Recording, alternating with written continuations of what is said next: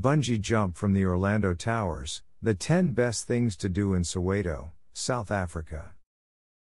Once part of a coal fired power station, the mural covered Orlando Towers, also called the Soweto Towers, have been reborn as a hotspot for adventurous types.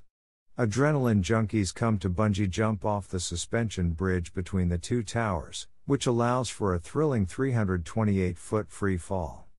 You can also experience the world's highest SCAD free fall or an 82 foot wall climb up the outside of one of the towers. There's a paintball course on site, and experienced base jumpers can apply for permission to take the leap from the top. If all of these activities sound a little intense, ride the elevator up to the viewing platform for 360 degree views of Soweto instead.